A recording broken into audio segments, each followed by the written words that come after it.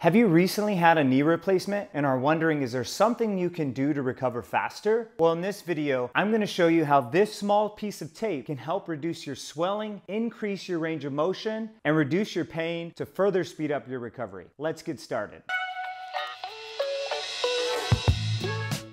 Hey guys, it's Dr. Mike, and I'm a physical therapist who created this channel to help teach others that regardless of age, you can be strong and resilient. Now, as a physical therapist who sees patients literally the day after knee replacements, hip replacements, I find a common problem with each individual. The patients that can successfully manage their pain and swelling are usually the patients that have the most success with regaining back their range of motion and having a smoother recovery. Proper management of pain and swelling is essential and without it, you can be sure you're gonna have a long road of recovery. Now listen, what if I told you there was a simple method that you can use to help reduce this pain and swelling after surgery? A method that did not require you to do more exercise or did not require you to take any more pain medications? Well, I'm here to tell you there is, and this method has been researched and proven to show effectiveness in reducing pain and swelling right after knee replacement. This method is called kinesiotaping. And you may have seen a lot of athletes in the Olympic Games and even professional sports today wearing this. This is a cotton nylon woven fiber tape that is applied over the skin using an acrylic adhesive that stretches and still allows you to move freely without any restrictions. It is latex free and hyperallergenic so most people can use it without having any severe skin reactions. This elastic piece of tape comes in 1 to 3 inch widths and nowadays comes in a variety of brands on the market including TheraBand, Kinesiotex, KT Pro, and Rock Tape. Now according to a randomized controlled trial by the European Journal Journal of Physical Rehabilitation.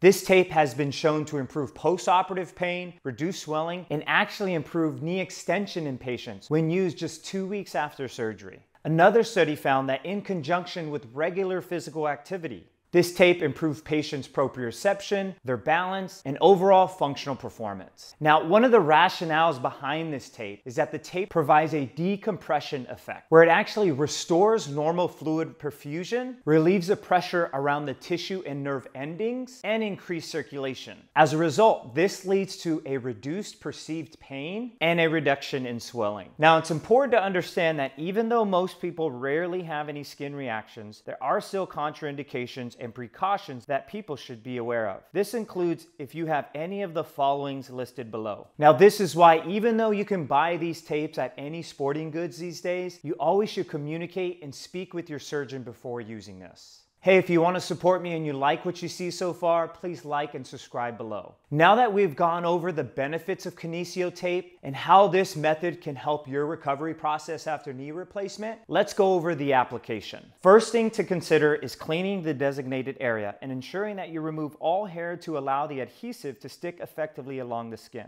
For most people, after knee replacement, this will not be a problem since your leg will most likely be shaved right before you go into surgery. Once the area is clean and free free from hair, you will go ahead and cut two to three 16 inch strips from whatever tape that you decide to purchase.